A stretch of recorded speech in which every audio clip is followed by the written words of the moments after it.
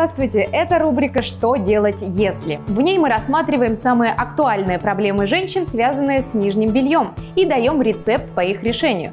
Сегодня под прицелом самый выступающий вопрос. Что делать, если под кофточкой видны линии бюстгальтера? Допустим, вам понравилась кофточка, которая идеально облегает вашу фигуру. Но есть одна проблема. Кроме ваших достоинств, все окружающие видят линии бюстгальтера, которые проступают под ней. Конечно, вам это не нравится, и мы здесь для того, чтобы помочь решить эту проблему. На Мариане ее любимая майка и бюстгальтер, и как вы видите, они никак не могут подружиться, и те линии, которые мы видим, всего лишь верхушка айсберга или симптом неверно подобранного бюстгальтера. Можно попросить вас развернуться?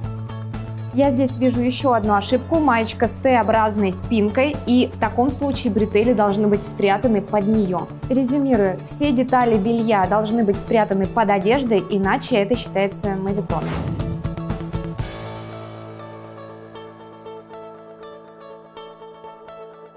Теперь, когда мы видим, что находится под кофточкой, можем выявить истинные проблемы. Во-первых, чашечки не прилегают, отсюда и появляются линии. Во-вторых, бретели бюстгальтера слишком свободны, под ними должно помещаться в идеале два пальца, ну а здесь значительно больше. Марианна, попрошу вас повернуться ко мне спиной, мы проверим натяжение пояса. Между поясом бюстгальтера и спиной должно помещаться 4 пальца, но, как вы видите, здесь помещается всего лишь 2. Он вам явно мал. Также он находится не в точке обсаживания. Точка обсаживания – это самая узкая верхняя часть спины. За счет этого пояс не будет задираться наверх. Еще одна ошибка. Мариана носит под белой майкой белый бюстгальтер. Это неправильно. Нужно надевать телесного цвета бра. А теперь давайте посмотрим, с чем нужно носить эту майку.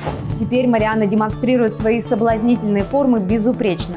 Правильно подобранный бюстгальтер буквально исчезает под тканью. Поднимает уровень груди и создает красивую ложбинку, отличный вкус, проблема решена. Сейчас на Мариане бюстгальтер телесного цвета, именно поэтому он практически не заметен. А сейчас давайте посмотрим на посадку бра.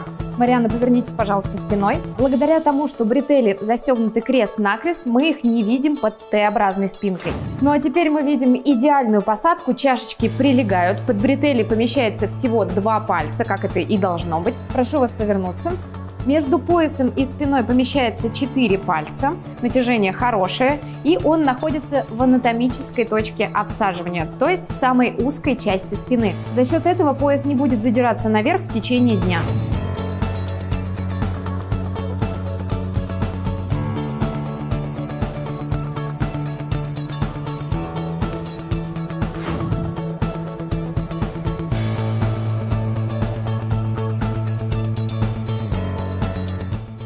Спасибо за просмотр. Нам нужны ваши советы, какие еще темы мы можем разобрать в рубрике «Что делать, если?». Пишите в комментариях. Поставьте лайк этому видео, если оно вам понравилось, подписывайтесь на канал и жмите на колокольчик уведомлений, чтобы не пропустить новые полезные видео. А у меня на этом все. До встречи!